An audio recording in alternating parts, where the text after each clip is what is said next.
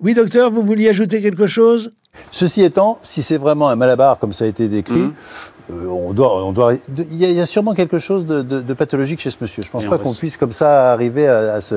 Euh, Pardon, docteur, mais ce n'est pas. Il y a quelque chose de pathologique chez ce monsieur qu'il faut dire. hein. Il y avait quelque chose de pathologique. Il est mort, le monsieur.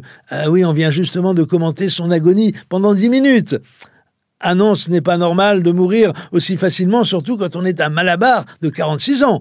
Le docteur a raison de le souligner, même si c'est de l'ordre de l'intuition. Il y a quelque chose de pathologique chez ce monsieur. C'est pas normal d'appeler sa mère dans la rue à 46 ans alors qu'on bénéficie de la présence rassurante de la police. Chez lui respire la pathologie. Il a perdu tous ses cheveux, il a des muscles déraisonnablement gros, et surtout, il est vraiment très noir. Je veux dire, euh, pour la région, hein, ça se passe à Minneapolis, pas à Addis Abeba.